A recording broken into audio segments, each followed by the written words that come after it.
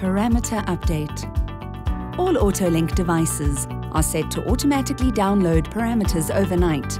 This is why it is very important that your AutoLink device remains plugged in to its charging base and connected. You can, however, also manually update parameters by following these steps. Press the F button. Scroll to SBSA and press Enter to select.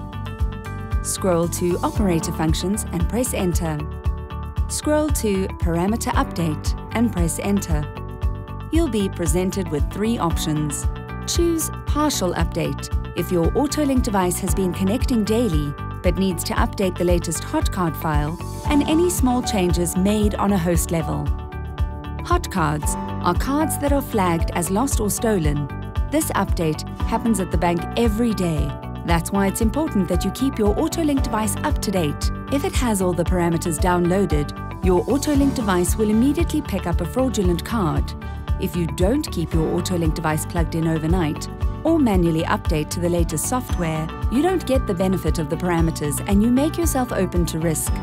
Choose a full parameter update by selecting Full Param Update. This is advised if your AutoLink device has not been connected for a while and needs to be updated. In this case, the version number is sent to the host to request any new updates against the latest version at host level.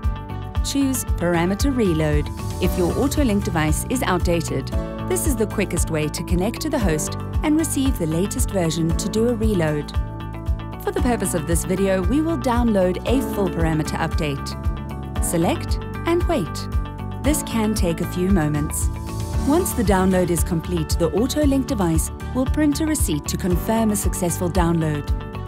Your AutoLink device is now up to date.